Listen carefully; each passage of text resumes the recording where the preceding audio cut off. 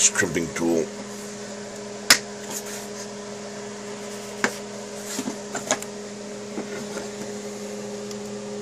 Eight ton.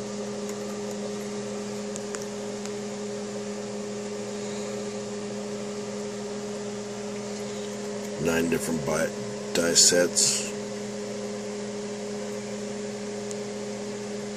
Works really good.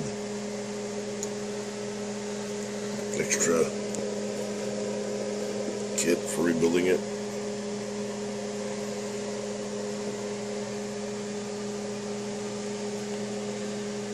Soldering gets kind of old. So,